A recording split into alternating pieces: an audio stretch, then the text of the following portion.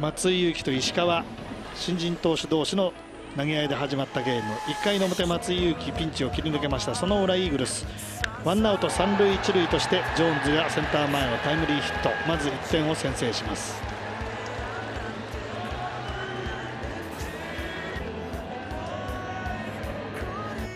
この1点をもらった松井裕樹2回の表のピッチング。ワンアウトからのフォアボールをきっかけにピンチ。鈴木に押し出しのフォアボールを与えて1対1の同点とされた後今井にはライト前に弾き返されました。2点タイムリーヒット。これで3対1逆転を許します。マリーンズが2点のリード。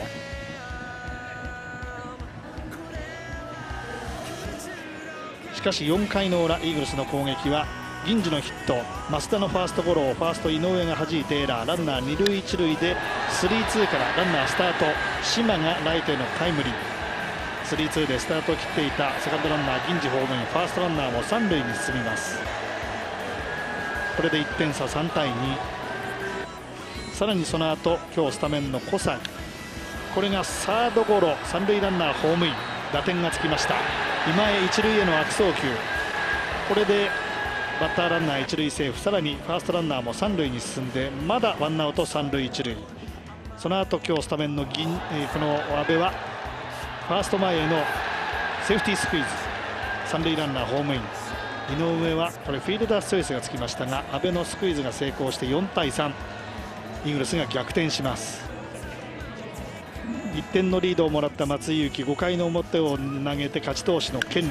その裏ランナー1人岡島ヒットで出塁した後のノーアウト1塁という場面でジョーンズ23号ツーラン。これでさらに点を追加します。6対3としました。3点のリードをもらった松井裕樹投手の6回の表のピッチング。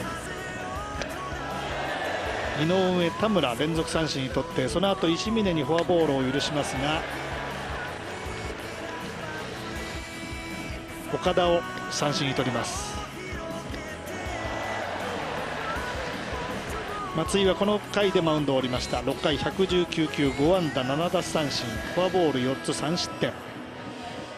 その後はピッチャーのつなぎでしのいでいきますが9回の表今江にホームランを打たれたファルケンボーグですがその後最後クルーズを打ち取りますキャッチャーのファールフライ。